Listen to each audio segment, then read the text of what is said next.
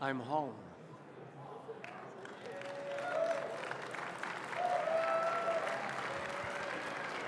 In Larry Kramer's great play, The Normal Heart, which I had the honor of performing in in 1985 at the Public Theater, and later I co directed it for its Broadway premiere.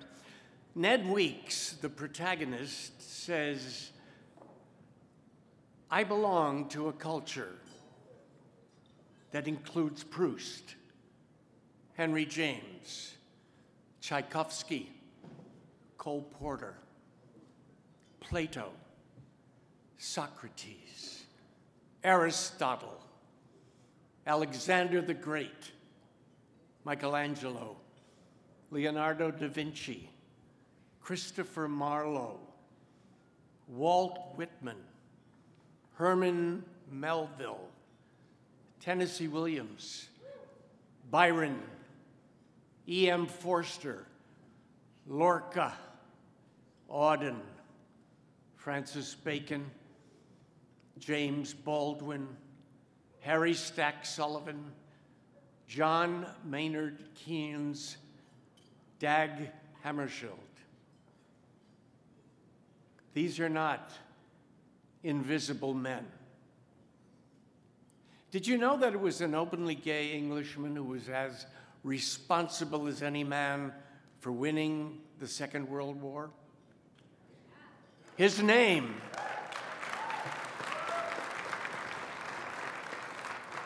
His name was Alan Turing, and he cracked the Germans' Enigma code so the Allies knew in advance what the Nazis were going to do. And when the war was over, he committed suicide. He was so hounded for being gay. Why don't they teach any of this in the schools?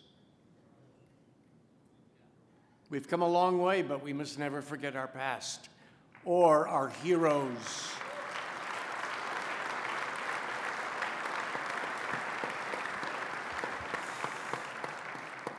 Today, Alan Turing's vital story is finally being told in the award winning film, The Imitation Game. Take a look. Christopher's become so smart. You named him? I have a feeling you're going to be very good at this. You know, this morning, I was on a train that went through a city that wouldn't exist if it wasn't for you. Is the point of different tastes, different preferences, if not to say that our brains work differently, that we think differently?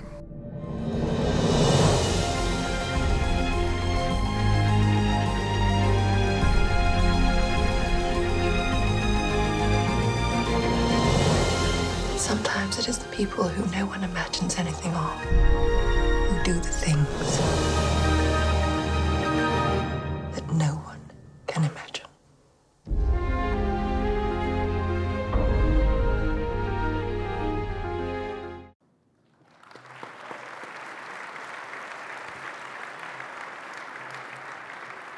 It's my pleasure on behalf of the Human Rights Campaign to bring to the stage and present the Ally for Equality Award to the filmmakers of The Imitation Game. Please welcome cast member Matthew Goode, director Morten Tyldum, producers Nora Grossman and Ido Ostrowsky, and Harvey Weinstein.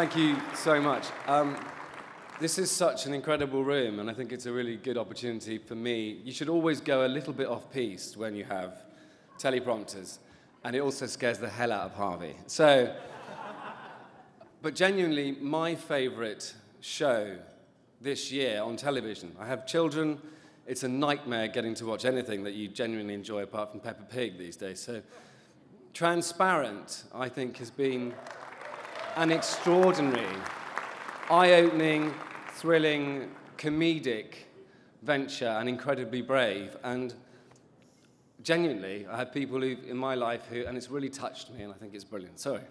Wow, I didn't expect that.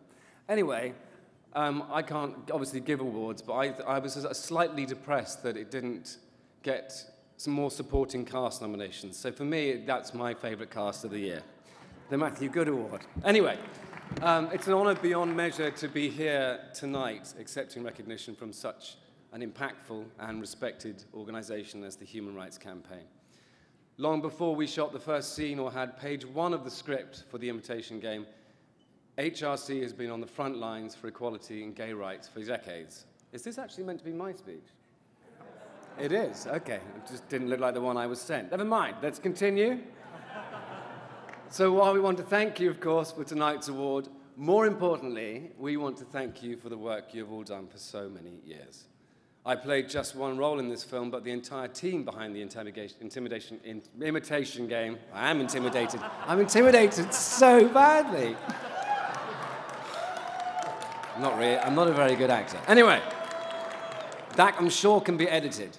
Many of whom are on stage with me tonight are incredibly moved and humbled to be receiving the Ally for Equality Award. While he unfortunately could not be here with us tonight, my great friend and fellow actor, Benedict Cumberbatch, has sent a message which I would like to share with you. I'm so sorry about that. Good evening, everyone. Hi, I'm really very sorry I couldn't be there tonight. I'm, uh, I'm sadly, well, not sadly, very happily playing Sherlock in, in London, but I'm very sad not to be with you guys celebrating in person in New York. Um, but I wanted to take a moment to uh, express my appreciation for this really tremendous honour um, that the Human Rights Campaign is, is bestowing on the Imitation Game tonight, our film about Alan Turing. And I know I speak on behalf of the entire cast, the production team, and creatives that uh, were behind this film in saying that the Equality Award is, well, it is quite simply the most moving and special pieces of acknowledgement that this film could ever achieve and receive. So thank you to. Uh, to take part in this film alone was something that none of us could resist. Not only was um, Alan Turing's story a remarkable one, but it gave us the opportunity to celebrate a man whose heroism and brilliance and achievements were overshadowed by a cruel conviction and um, an even more horrific punishment um, in an intolerant era. He has played a momentous role in putting an end to one of humanity's worst wars, pioneering computers as we know them today, the universal machine, which we now call a computer, and, uh, and is seen by many as being the father of computer science and championing fearlessness when it came to his identity, his self, his sexuality. Alan Turing changed life as we know it today quite simply and for the better. And um, while his life was cut all too tragically short, he will forever, I think, deserve the immeasurable gratitude of the LGBT community and the world as a whole. Um, so, once again, a million, million, million thanks to the HRC for granting our film with this immense honour, which we dedicate tonight to Alan Turing and his incomparable and enduring legacy. Thank you. Um, thank you, Benedict. Um, I'm Morten Tyldum. I'm the director of this movie. Um, and thank you so much for bestowing on us this great honor. Um, I moved from Norway to LA for a few years ago. Um, and my daughter, who is 18 now, uh, shared with us a few years ago that she's gay. And I can tell you how important and how thankful I am to be here with an organization who's fighting so diligently for her future and for her rights.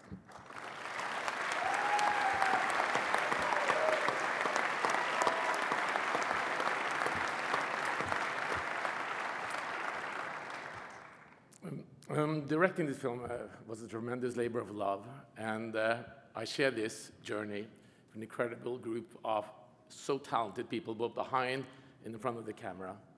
And everybody who was on this project shared this passion for bringing, for bringing Alan Turing's story to a big audience around the world.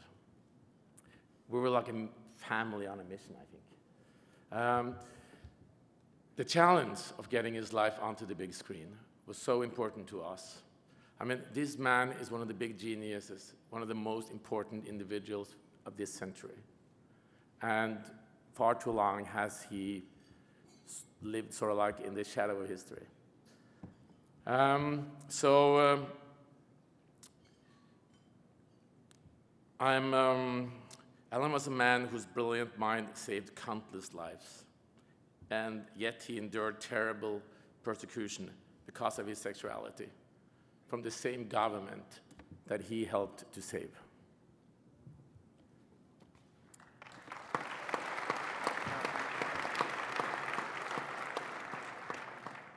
It's our hope that, along with our friends at HRC, we can call attention to his legacy and also to the atrocities he endured.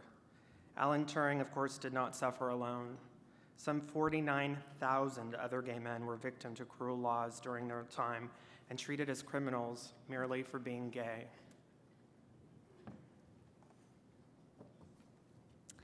Alan received apologies from the government and Queen uh, decades after his death but 49,000 others still have not had their names cleared. The Advocate's Matthew Breen, who's here with us tonight, started a petition, pardon49k.org, calling for the pardon of all these men. We hope you'll take a moment tonight or tomorrow to go online and lend your name and support.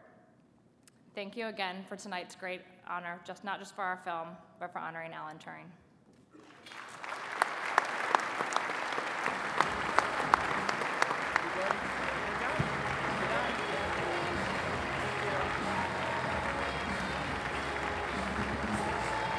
I'm Harvey.